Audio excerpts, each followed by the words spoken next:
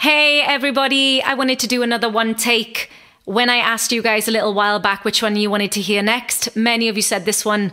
So, for my debut, this is Dead End Street. Let's go.